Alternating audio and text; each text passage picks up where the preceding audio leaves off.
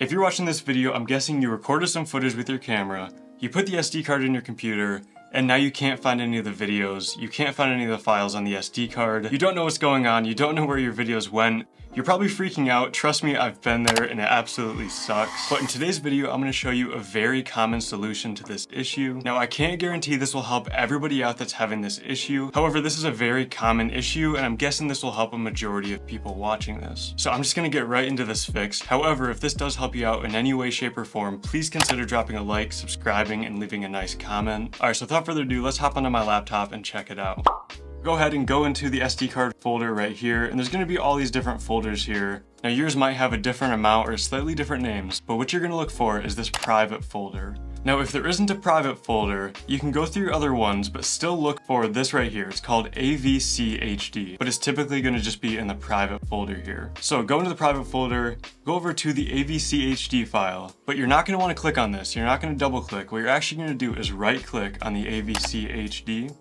and go down to Show Package Contents. Once you hit that, it'll open up this new folder inside of AVCHD and it'll show BDMV.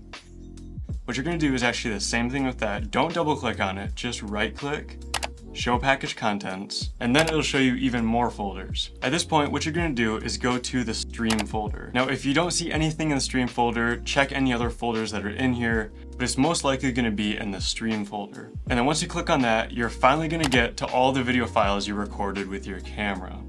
Now I really hope this works for you and I honestly don't even know why this is a thing. It's mostly with MacBooks and with a specific type of camera. So typically Sony cameras or even Panasonic cameras, but it really can be all sorts of different types of cameras. But again, I really hope this helped you out. If it did, please consider dropping a like, subscribing, and leaving a comment. But that's it for me. Thank you so much for watching and I'll see you in the next video.